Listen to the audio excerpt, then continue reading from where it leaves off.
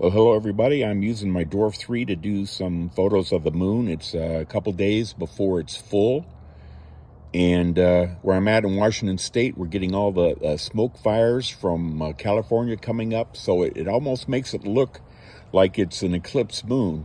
It's kind of funny because in, in about another three days, there will be a full lunar eclipse during the full moon. But uh, you'd have to be in Asia or Australia or Europe somewhere to see it. You won't be able to see it in uh, the U.S. But uh, next March 3rd, uh, 2026, we will be able to have another one we'll see from here. And I'm on the West Coast, so we'll get the entire thing next year. But in the meantime, just looking at uh, these photos of the moon I'm getting here, this is quite unique because it almost looks like it's uh, an eclipse moon, but of course the moon isn't full. So this isn't something you would see during a regular lunar eclipse, so it's kind of unique.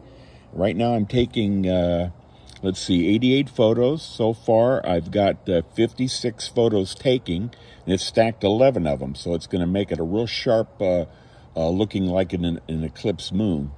So as soon as it's done, I'll, you know, be processing it more, but right now, this is what it looks like, and I'm going to do some more of these, so uh, you know, this is so much fun. Uh, and the Dwarf 3 telescope, which is set up, of course, right over here.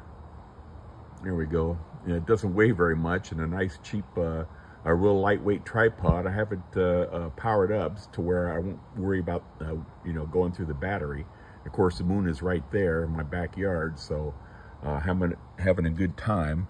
Currently, it's at 78 photos, so I'm getting there.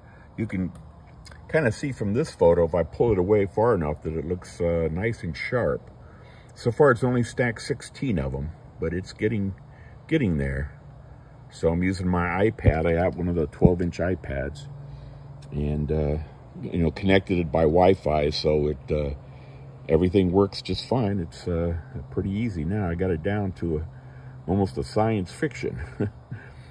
so you can see at the bottom there, it's at uh, one see, 125th of a second. Of course, target moon. Uh, gain zero. If you turn the gain even to one or two, it'll make it too bright. And then um, uh, total 88. Nope, it just uh, went to 88. Oops, there we go. So stack 20 so far, 21. So as soon as it's done stacking all of those photos, it already looks really nice. I'll be ready to do some extra processing on it. So far, it looks great. Well, I will be back at it. Take care.